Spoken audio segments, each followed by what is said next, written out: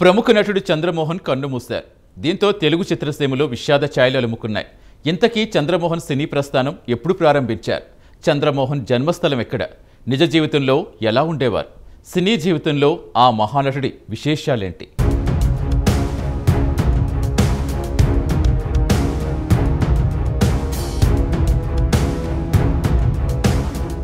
ప్రముఖ సినీ నటుడు చంద్రమోహన్ హైదరాబాద్లో అపోలో ఆసుపత్రిలో చికిత్స పొందుతూ నవంబర్ పదకొండు శనివారం తుదిశ్వాస విడిచారు.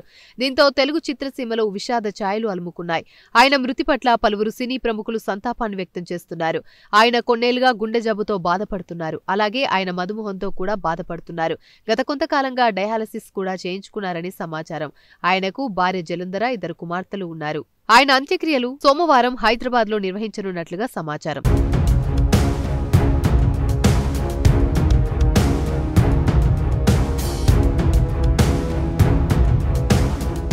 ఇకపోతే చంద్రమోహన్ అసలు పేరు మల్లంపల్లి చంద్రశేఖరరావు. కృష్ణా జిల్లా పమిడిముక్కలలో పంతొమ్మిది వందల నలభై మూడు మే ఇరవై మూడున జన్మించారు. ఆయన బాపట్ల వ్యవసాయ కళాశాలలో డిగ్రీ పూర్తి చేశారు. పంతొమ్మిది వందల అరవై ఆరులో రంగుల రాట్నం సినిమాతో అరంగేట్రం చేశారు. పలు తమిళ సినిమాలోనూ నటించారు. చంద్రమోహన్ సినీ జీవితంలో చేయని పాత్ర లేదు. ఒకప్పటి హీరో తర్వాత కామెడీ హీరో ఆ తర్వాత టాలీవుడ్ ఫాదర్ బ్రదర్ అంకుల్ క్యారెక్టర్లని ఆయనవే.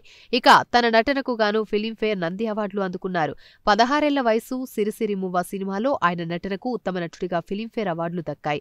పంతొమ్మిది వందల ఎనభై ఏడులో చందమామరావే సినిమాకు ఉత్తమ హాస్య నటుడిగా నంది అవార్డు రెండు వేల ఐదులో అతనొక్కడే సినిమాకు ఉత్తమ సహాయ నటుడిగా నంది అవార్డు అందుకున్నారు. చివరగా రెండు వేల పదిహేడులో ఆక్సిజన్ సినిమాలో కనిపించారు. దివంగత దర్శకుడు కె. విశ్వనాథ్కు చంద్రమోహన్ సమీప బంధువు. అప్పట్లో ఆయన సరసన హీరోయిన్గా చేసిన వారి లక్కు తిరిగినట్టేనని కట్ చేస్తే ఎక్కడికో వెళ్ళేది వారి కెరీర్ అన్నట్లు చంద్రమోహన్ది అంతటి లక్కీ హ్యాండ్ అంటుంటారు.